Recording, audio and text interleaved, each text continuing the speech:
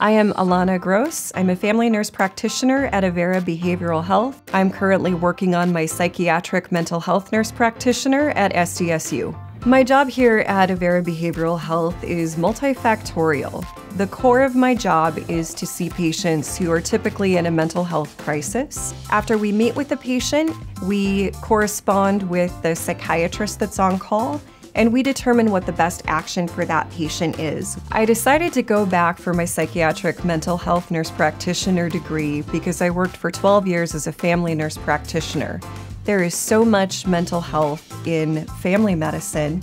I always wondered what I was missing or how I could better tailor the care that I gave my patients to their direct mental health needs. They say the third time is the charm. This will actually be my third degree from South Dakota State University, and I don't promise it will be my last. I remember graduating with my nursing degree the first time and walking across the stage thinking, I am not done yet. There is more for what I want to do. With a graduate degree from South Dakota State University, you can know that your professors are going to push you. They are going to grade you very accurately. They will want the best out of you.